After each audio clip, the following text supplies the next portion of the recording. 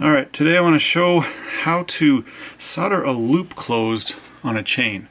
I got a chain and I've put the ends on and first thing I want to do is I've twisted my own wire so that I, I cut my own loops and instead of using like cutters to cut them because it doesn't give you a flush end what I do is just take my saw and actually cut the individual loops with my saw. I'm using a, a 4 inch saw frame and a 3 aught blade.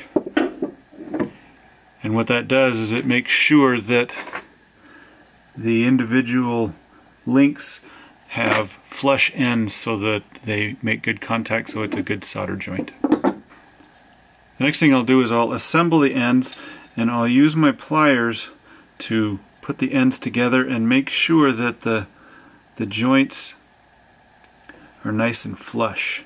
And then I'll take them and dip the pieces in a mixture of denatured alcohol and boric acid.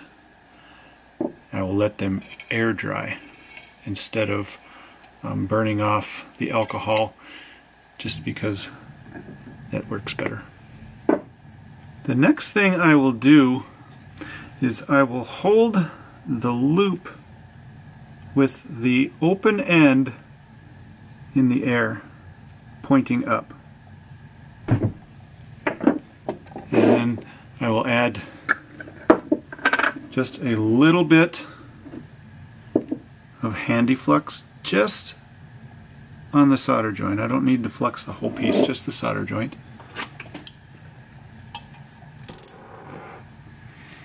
And I'll use just a very small flame. Don't need a very hot flame, just a small flame. I'll take my soldering pick and I'm just going to touch it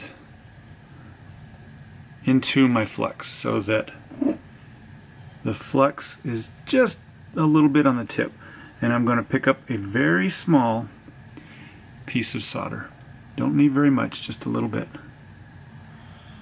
I'm Going to heat up the loop add the solder to the loop.